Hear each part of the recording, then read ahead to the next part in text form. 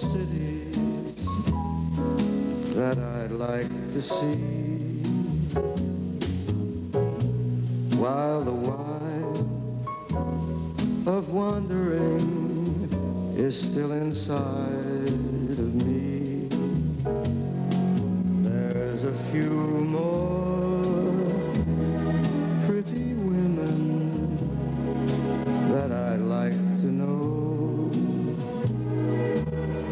your too.